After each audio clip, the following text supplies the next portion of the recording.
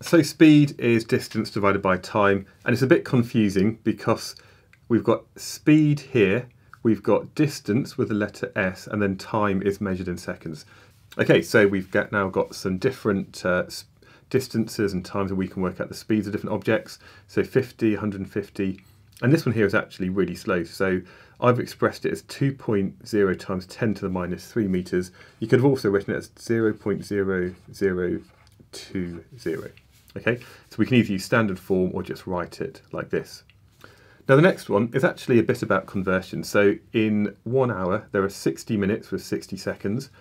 So that's 3,600 seconds. I think it's useful to do this because we often have to convert from one unit to another. Now, one metre per second, how fast is that in miles per hour? So we're often used to using miles per hour all the time, especially when we're talking about things like cars. And it says here that one mile is 1600 metres. Okay, so this is how I'm going to do it. We've got one metre per second. Well, if we think about over an hour, what I'm going to do is I'm going to multiply this by the number of seconds in an hour to say that in an hour we're going 3,600 metres in one hour.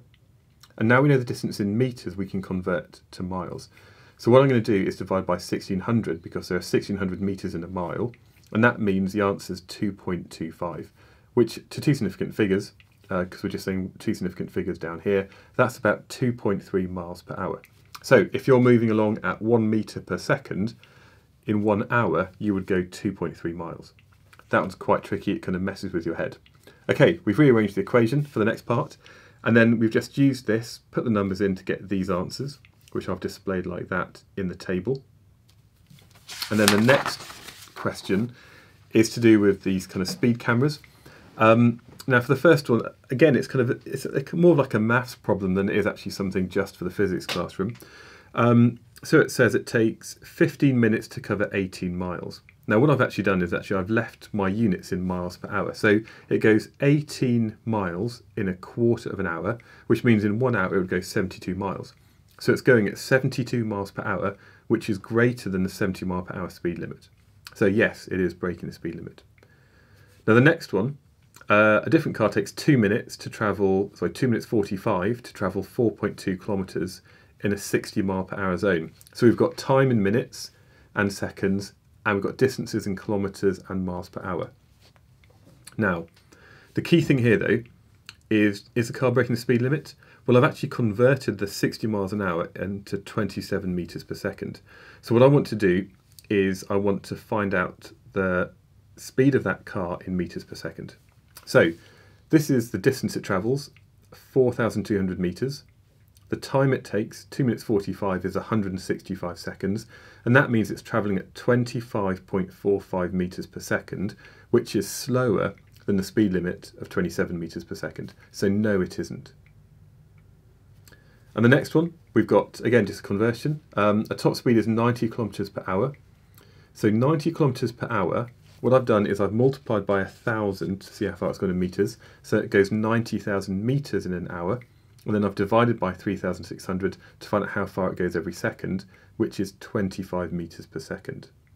So the driver enters a 60 mile per hour zone that's 4.6 miles long. So how long would it take to travel? Well, one mile is 1600 meters. We saw that on the first page. And that means the distance it travels in this 60 mile per hour zone is 4.6 miles. Now 4.6 times by 1600 is 7,360 meters. So that's the distance here. So I'm just going to label that as S.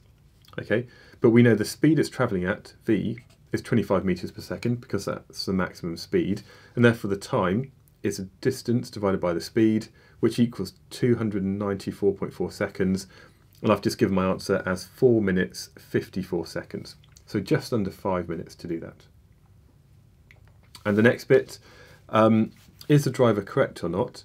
Um, so he could go at maximum speed for a quarter of an hour. Could he go 20, could he cover a thousand lengths of the lorry? Okay, so um, the maximum speed is, so that's why I put Vmax is 25 meters per second. The time in quarter of an hour is going to be equal to 15 minutes times 60 seconds, so 900 seconds. And that means the distance travelled is 25 times 900, which is 22,500. And if we just check this distance with the lorry length is actually equal to 1,000. So yes, the driver is correct. They would go 1,000 lorry lengths in that time.